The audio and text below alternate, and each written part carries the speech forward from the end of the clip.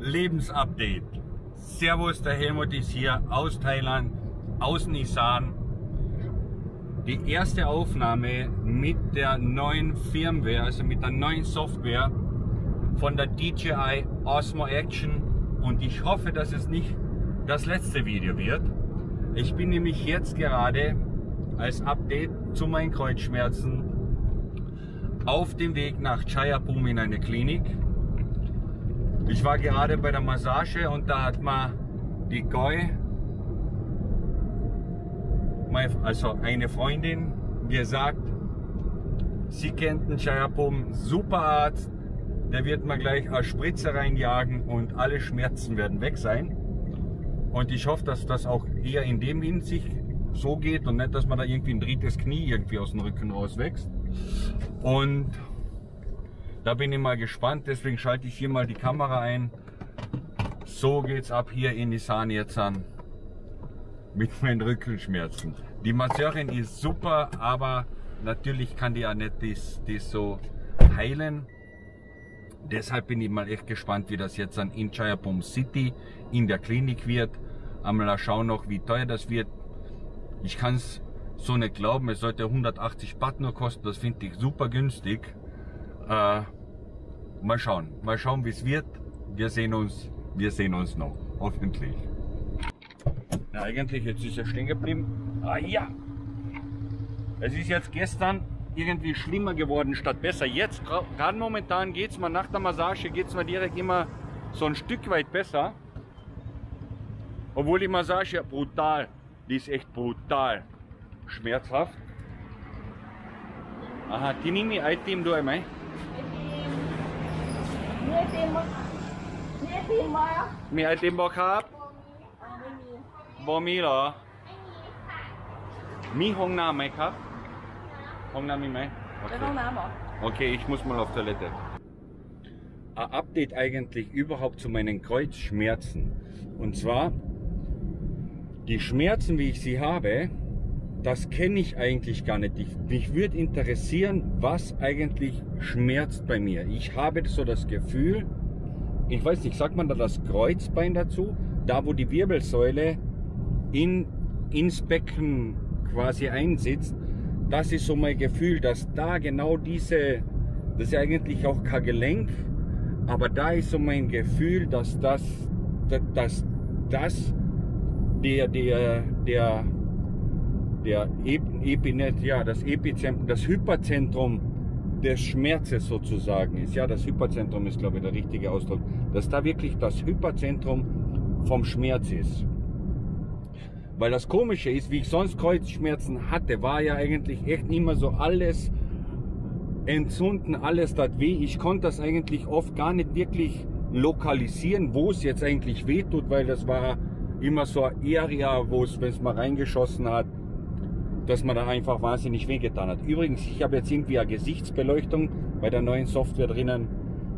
Ich weiß nicht, ob es jetzt besser ist in der, in der Kamera. Es ist hier schon, es fängt an zu dämmern. Ja, und des, deswegen wird mich, das ist so wie jetzt, wie ich jetzt sitze, ich sitze total schmerzfrei, auch wenn ich auf dem Moped sitze, total schmerzfrei, ohne irgendwas. Aber wenn ich dann den Fuß drüber heben will übers Motorrad, habe ich das Gefühl, ich breche, da habe ich echt so das Gefühl, ich, ich breche in der Mitte auseinander.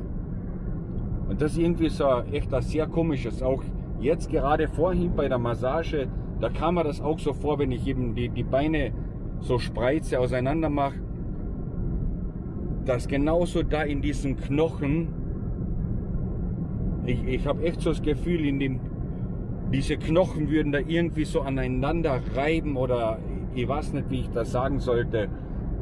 Ja, da habe ich echt das Gefühl, das bricht auseinander zwischen, zwischen ja, Gefühl auseinanderbrechen ist übertrieben, aber so in der Art, ja, als ob das so das Becken von der Wir und, und die Wirbelsäule sich so, ja, als ob das ja auseinander wegbrechen würde oder so. Deswegen bin ich ja neugierig. Also es ist wahrscheinlich gar nicht so, wie ich das sonst kenne, irgendwie von den Bandscheiben oder so. Aber man weiß es ja nie, sondern ich habe echt so das Gefühl, das wäre Du hast ja hinten, da ist das so wie eine Platte auch irgendwie. Du hast da so diese Knochen da und da fühlt sich das so extrem an. Während ich eben, wie ich sage, wenn ich jetzt sitze, da denke ich mir, mir fehlt nichts. Ja, doch, wenn ich das Bein anhebe, dann geht genau der Schmerz.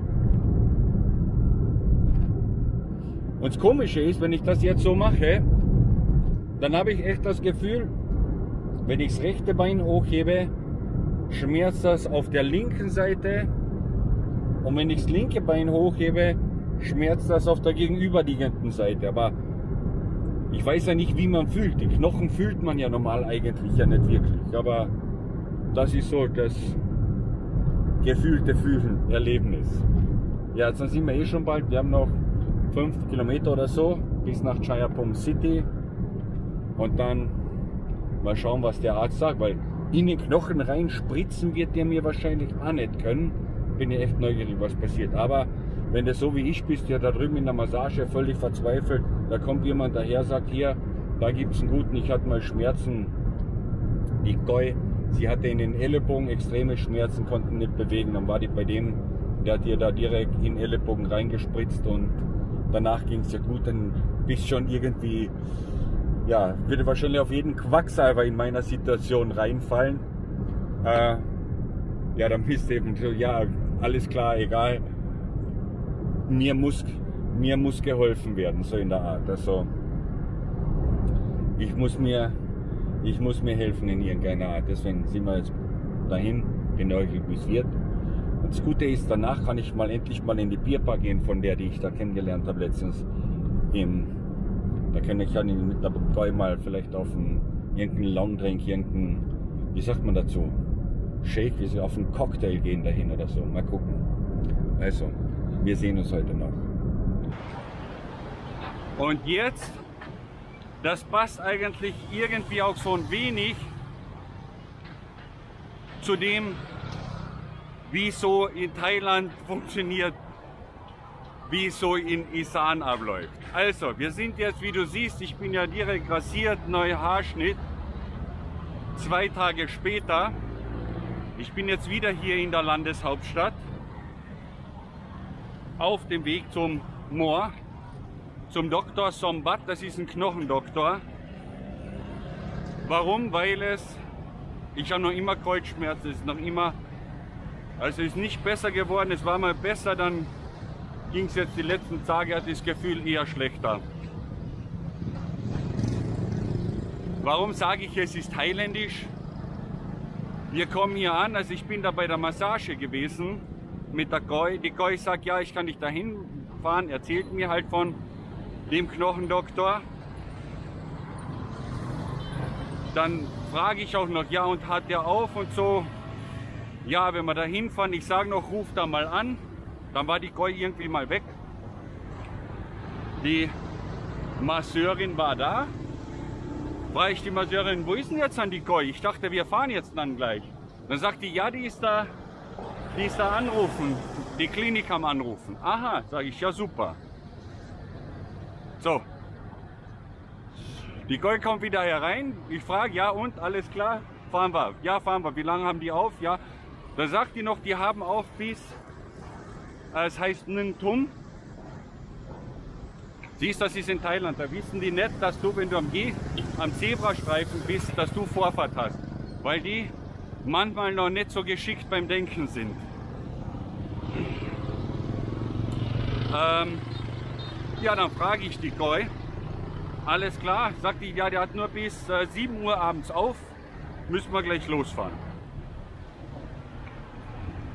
Gibt zwei Sachen. Erstens, wir waren um halb sieben hier. Sogar ein bisschen vor halb sieben. Das erste. Der war trotzdem aber schon zu. Und der hatte wahrscheinlich auch nicht gerade erst vor drei Minuten zugemacht. Das zweite ist, ich frage dann die, ich sag doch, ich dachte, du hast doch hier angerufen. Was kommt die Antwort? Ja, aber die Nummer, die Nummer hat nicht funktioniert. Ich habe noch wahrscheinlich eine alte Nummer, die hat nicht funktioniert. Das war irgendwie so, so die Krönung, wo du denkst, ja, alles klar. Gut, sind wir 70 Kilometer hierher gefahren, umsonst 70 Kilometer wieder zurück. Ist ja auch spaßig im Auto zu sitzen. So und heute, heute musste Mikis Mutter ins Krankenhaus. Und deswegen ist gut, dass ich hier mitfahren konnte. Gestern ging das ja gar nicht. Gestern hierher von gestern war nämlich Regenfall, Regengüsse hier. Weiß nicht wo überall in Thailand, aber zumindest in Chayabungi hat es immer wieder geregnet. Also mit dem Motorrad konnte ich ja nicht hierher fahren gestern da. Oder könnte man schon, aber das wäre halt eine ziemlich komische Sache. Und deswegen bin ich jetzt an hier auf dem Weg zum Moor, zum Knochendoktor. Und ich hoffe, der hilft mir. Langsam schwindet meine Hoffnung. Aber ich habe echt, das ist unglaublich, wenn du dich nicht bewegen kannst, auch wenn du nicht richtig gehen kannst. Das ist schlimmstens. Deswegen hoffe ich, der wird mir helfen. Also, wir sehen uns gleich beim Doktor. So, jetzt bin ich behandelt beim Arzt. Aber nicht mit einer Spritze direkt ins Kreuz, wie ich das sonst kenne. Spritze in den Popo. Mexiko. Mal neugierig, wird. Also, er hat zumindest, der Arzt hier hat zumindest kompetent gewirkt. Die Schmerzen. Ich weiß es nicht. Fühle ich mich jetzt besser? Irgendwie habe ich das Gefühl, es wäre ein bisschen weniger schmerzhaft aber nicht weg. Ja, schade. Dann mit der Spritze direkt ins Kreuz. Wie ich das kenne aus Österreich, dass die Schmerzen weg sind, kenne ich hier. Gibt's hier nicht. Ich rede mit denen, ne, hat er nicht, gibt's nicht. Verstehe auch nicht alles, was der sagt. Hat man irgendwas erzählt, ja, ich, wenn ich ins Krankenhaus gehe, bla bla bla, dann eventuell oder doch nicht. Also immer so ein bisschen schwierig. Ich hätte doch einen Dolmetscher mitnehmen sollen. Aber okay, ich war gleich dran, es war keine Wartezeit, war cool, komm hin, krieg die Spritze und habe ich jetzt meine Medikamente eingepackt, eingepackt überhaupt, muss ich mal gucken. Könnte immer sein, dass man in der Aufregung irgendwie was vergisst. Ne, habe ich mit. Habe auch Tabletten bekommen, das ist wieder die Sache. Inklusive Tabletten inklusive allen drum und dran, hat das 200 Baht gekostet. Das sind, das sind das 6 Euro in etwa wahrscheinlich. Das ist an und für sich. Da hast ja die, ich glaube, das geht in Europa nirgends. Also in Österreich auf keinen Fall und in Deutschland wahrscheinlich auch nicht. Dass ein Arzt siehst, eine Spritze kriegst für sieben Tage Tabletten. Also wie viele Tabletten habe ich gekriegt? 28, 38 Stück Tabletten. Wobei ich halt gerade so ein Freund bin mit Tabletten. Ne? Tabletten, das ist so, da denke ich immer, dass die Spritze heilt ja auch nicht, aber mit den Tabletten bin ich halt so gar nicht so wirklich Freund. Aber was will man machen? Was soll ich machen? Es ist schade. Vielleicht auch hier Schicksal annehmen, eine gute Idee. Sagen Kreuzschmerzen, Schicksal annehmen. Ich hab's eh, ich versuche es ja die ganze Zeit schon mit den Kreuzschmerzen, dass ich die da jetzt nicht irgendwie ignorieren möchte, sondern annehmen möchte, was sie mir sagen möchten. Ich versuche wirklich darüber zu meditieren. Seit Tagen habe ich ja Zeit, kann ja sonst nicht viel was machen. Bis jetzt noch keine Idee, was es sein sollte glaube ja auch immer nicht, dass alles vielleicht direkt mit dem Karma zu tun hat. Ich weiß es aber nicht. Mal schauen, wie es wird. Das ist jetzt hier meine Erfahrung. Einstweilen mit den Kreuzschmerzen. Update haben mich echt viele Leute gefragt, was ist mit dem Update? So sieht es aus hier. Du gehst ins Krankenhaus. Es ist schwierig, vielleicht wäre das normal im Krankenhaus ganz gut gewesen, aber wie gesagt, da bin ich einfach weg, weil ich alles, was gesagt wurde, war irgendwie ja, Lüge ganz einfach. Nein, es wird nicht ein Doktor spritzen. Auf einmal kommt eine Krankenschwester daher. Der eine sagt, ja, wird eh direkt in die Wirbelsäule gespritzt, danach nah intravenös. Und dann hatte ich einfach Angst, dass mir da ein drittes Knie irgendwie aus dem Rücken rauswächst, wenn die mich da spritzt, weil ich nicht wusste, da hatte ich gar Vertrauen mehr. Und hinten nach betrachtet, ja, wäre es wahrscheinlich eh okay gewesen, gut gewesen, dass der Schmerz weg wäre. Aber okay, mal schauen. Auf alle Fälle, der Knochendoktor hat mir zumindest mal Fragen gestellt, auch wie ich gesagt habe, was ich kenne, dass man sich vorbeugt und so weiter, dass er mal so ein bisschen das sieht, wie das zustande gekommen ist. Ich hatte zumindest das Gefühl, aha, der möchte wissen, durch die Fragerei das Eingrenzen, was passiert, was passiert, was passiert ist, was passiert sein könnte innerlich, weil ihr als Arzt weiß ja nicht genau, was passiert ist, aber die Möglichkeit zu verkleinern, was passiert sein könnte. Ja, daher, vielleicht hat den aber auch nicht interessiert, ich weiß es nicht. Ich weiß es nicht. Irgendwie bist wahrscheinlich eine Nummer, die durchrennt, ja 200 Watt passt schon raus wieder, nächste rein 200 Watt. Wenn wir 20 Patienten in der Art haben in der Stunde, sind das 4000 Watt die Stunde oder ich weiß es nicht. Irgendwie hatte ich auch ein bisschen so das Gefühl. Will ich Ihnen aber nicht unterstellen, das ist nur mein Gefühl eben dabei. Ja, jetzt habe ich sozusagen frei. Das ist mein Video-Update zum was man macht hier, wenn man Kreuzschmerzen hat. Es ist, ich sagte, es ist schwierig. Ich wäre gerne in Chiang Mai jetzt. Und ich bin mir sicher, wenn ich ins McCormick Hospital gehen würde, dann wird es auch wirklich irgendeine proper Behandlung geben, die auch finanzierbar ist. Das war zwar Privatkrankenhaus, McCormick muss hier ein, ich muss sowieso immer alles selber bezahlen hier, aber das war auch bezahlbar, sagen wir mal so, ein bisschen natürlich teurer als die öffentlichen. Aber auf der anderen Seite, wenn dir wirklich geholfen wird, ist es wieder billiger. Ganz einfach. Das Billigste ist immer das Wirksamste, ist immer das Billigste, egal wie es kommt. Das hat man vorher, den habe ich vorher gefragt, wo der Moor ist, der hat mir das ja den Weg beschrieben. Sehr netter Typ. Äh, ja, das was wirkt, ist immer das Billigste, egal was es kostet. Das ist ja die Sache.